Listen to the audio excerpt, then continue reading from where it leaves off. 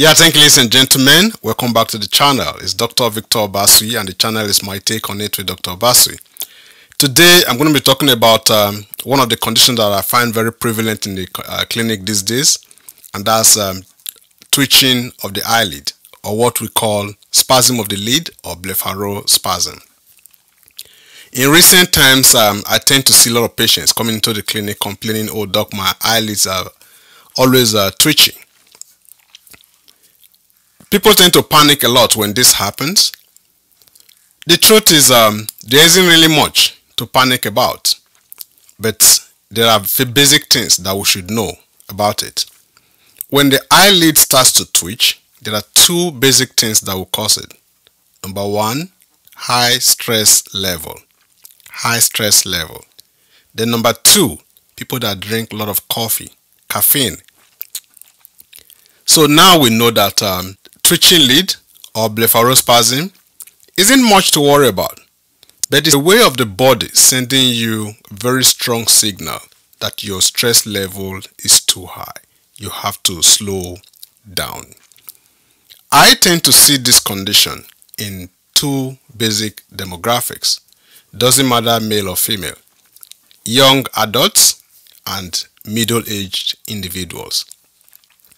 Young adults because this is the point where most of them are still trying to find their feet. School is going on, so the stress of school will most times uh, throw the system off balance and twitching lead will become one of the one of the signs that uh, patients will complain of. It's common or is more common during exam periods. So the twitching of the lid tend to be more common in young adults especially during examination period or those that are uh, tradesmen when the stress level is high or apprentices.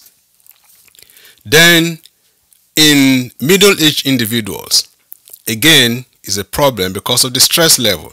Stress from work, stress from family, and um, other areas of life.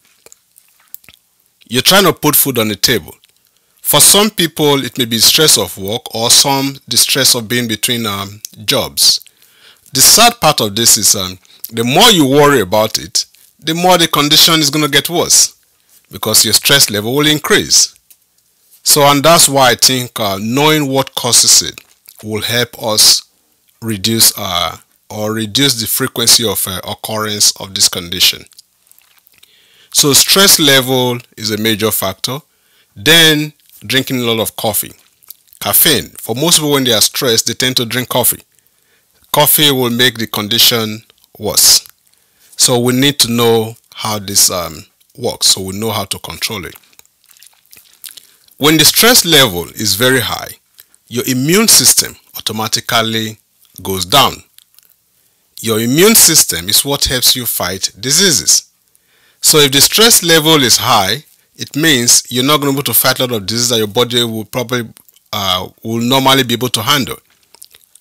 Chances are you're going to fall sick easily. I did a video last time on a transient ischemic attack and strokes.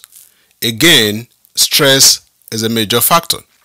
So when you get to the point where you start to um, get frequent occurrence of um, twitching eyelid, it just it doesn't matter whether it's right eye left eye upper lid or lower eyelid uh, it's a way of your body sending a very strong signal to slow down that the stress level is too much. Please don't keep drinking coffee to reduce the uh, to overcome the stress. It just makes the condition worse. So things like stroke transient ischemic attack and every, uh, a lot of diseases will be able to hit you easier when you are in this uh, state of mind. So let us uh, understand what this is and do our own part to minimize the side effects that could come after. Blepharospasm on its own is not something to panic about. You don't take medications for it. It's a nerve condition. When the stress level is low, it will um, subside. But it's just a way of your body telling you to slow down. So please, let us heed the warning that our bodies are not machines. even machines when you go past certain limit the machine will give up. It will yield. So the body system will do the same thing. If you don't heed the warning it will give up on you. So that's what all i thought i'll share with you guys. Uh, share the video with other people. It may be you it may be um, a spouse it may be family it may be friend.